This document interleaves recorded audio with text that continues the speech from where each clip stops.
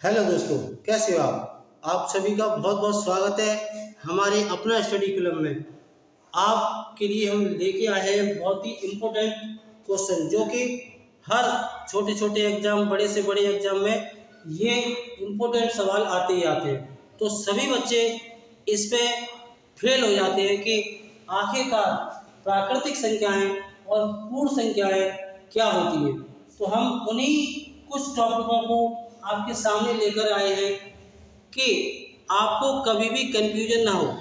इसीलिए हम ये प्राकृतिक संख्याएँ और पूर्ण संख्याएँ केवल दो ऐसी संख्याएँ लेके आए हैं, जिसको आप अच्छी तरह से पहचान और जान सकते हैं। इसीलिए इन टॉपिकों को जानना बहुत ज़रूरी है। तो चलिए अपनी वीडियो को शुरुआत करते हैं और पहचानते हैं कि आपकी प्राकृतिक संख्याएँ और पूर्ण संख्याएँ क्या होती हैं। तो चलिए शुरुआत करते हैं। प्राकृतिक संख्याएँ आपने देखा होगा कि शुरुआत में हम one two three four five six seven ये गिनती गिन, गिना करते हैं। तो वही गिनतियों की शुरुआत यहाँ से की जाती है। ये सभी बच्चे इसको अच्छी तरह से जानते हैं। One two three four five six आप जहाँ तक पढ़ोगे वहाँ तक आपको ये गिनती चलती जाएगी। ये जो संख्याएँ हम आपके सामने दिखा रहे हैं ये इसको बोलते हैं अनंत।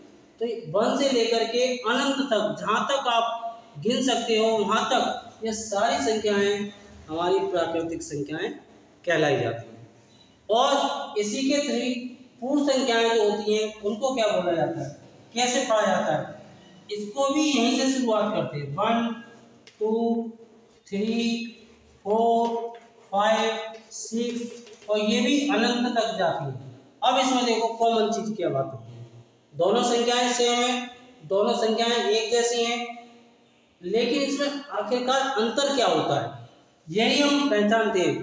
केवल प्राकृतिक संख्याओं में और पूर्ण संख्याओं में एक ही अंतर होता है मात्र।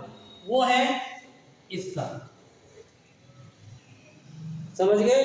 बहुत अच्छी तरह से समझ गए होंगे कि प्राकृतिक संख्याओं में अगर हम ज़ीरो आगे लगा दे या शून्य आगे लगा दे तो वो बन जाती हैं पूर्ण संख्याएँ। और जो नॉर्मल चीज़ संख्याएँ होती हैं, गिनती होती है, उनको हम बोलते हैं प्राकृतिक संख्याएँ। और इसमें ज़ीरो लगा होता है, वो पूर्ण संख्याएँ कहलाई जाती हैं। हालाँकि ये सभी प्राकृतिक संख्याएँ और पूर्ण संख्याएँ मानी जाती है। जैसे मान के चलो पाँच है। ये भी हमारी पूर्ण संख्या है। और ये भी पूर्ण संख्या है ये इस केवल इन दोनों की पहचान यही होती है कि इसमें ज़ीरो लगा दिया जाता है और इसमें ज़ीरो नहीं होता है। यही केवल एक और एक इम्पोर्टेंट अंतर है इन दोनों में, केवल ज़ीरो का। तो आपको ये वीडियो कैसी लगी, कमेंट करके हमें ज़रूर बताएँ। आप हमारे चैनल पर नए हो तो चैनल को सब्सक्राइब करके बेल आइकन ज़रूर दबा दें। धन्यवाद।